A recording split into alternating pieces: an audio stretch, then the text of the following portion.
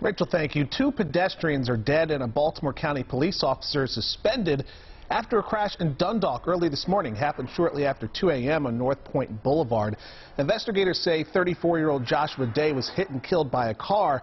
And when 21-year-old Berlin Matthews stopped to help him, she was hit and killed by a passing motorcycle.